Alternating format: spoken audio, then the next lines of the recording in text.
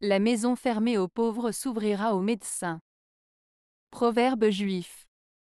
Ce proverbe juif signifie que souvent les personnes riches et privilégiées sont indifférentes voire hostiles aux pauvres et ne les aident pas en temps de besoin, mais dès qu'une situation d'urgence se présente, elles peuvent être prêtes à offrir leur aide à un médecin ou à une personne ayant une connaissance ou compétence spécifique en raison de leur utilité. En d'autres termes, cette expression souligne le fait que la solidarité est souvent conditionnelle et que les personnes les plus vulnérables peuvent dépendre de la générosité des autres seulement en cas de besoin.